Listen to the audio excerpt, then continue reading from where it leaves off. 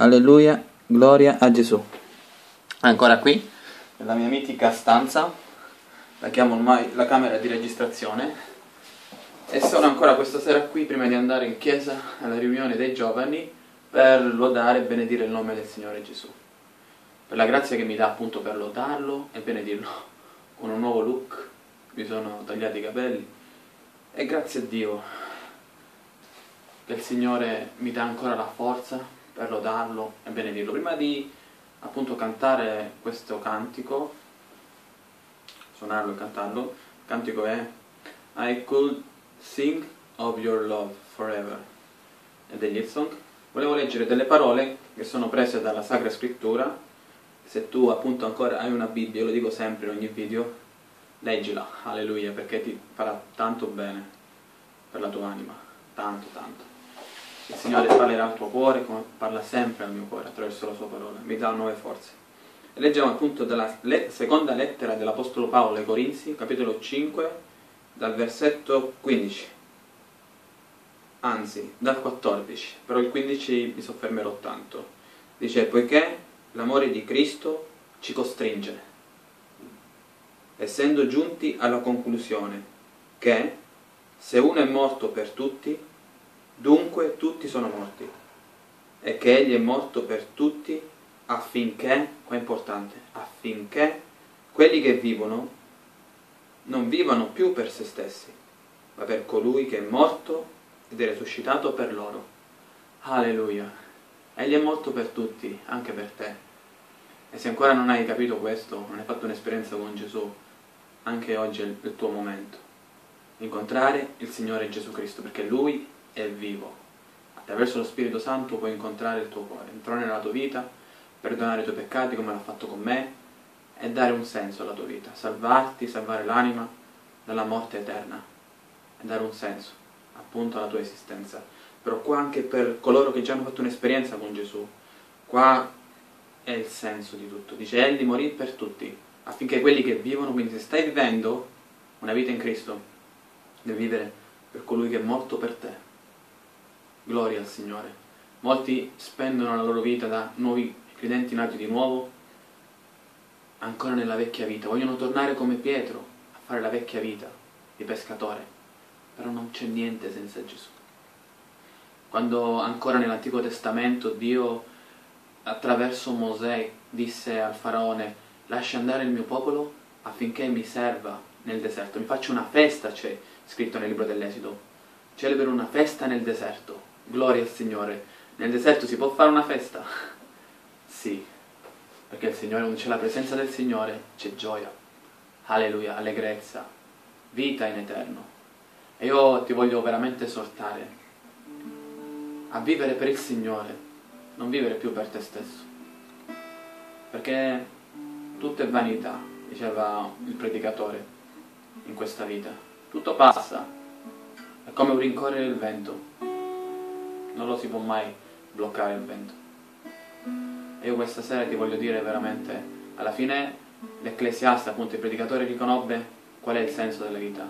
Temere Dio, osservare i suoi comandamenti, quindi fare la sua volontà in pratica. Il Signore ha anche un piano per te, una chiamata specifica per la tua vita. Alleluia, scoprila e guarda come la prospettiva della tua vita cambierà. Non vivere più per te stesso Vivi Gesù. Dio ti benedica.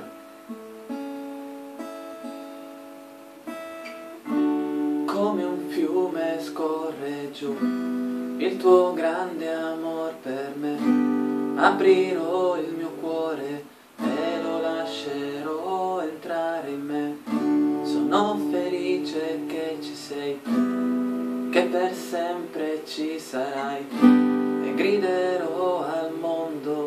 del tuo grande amore.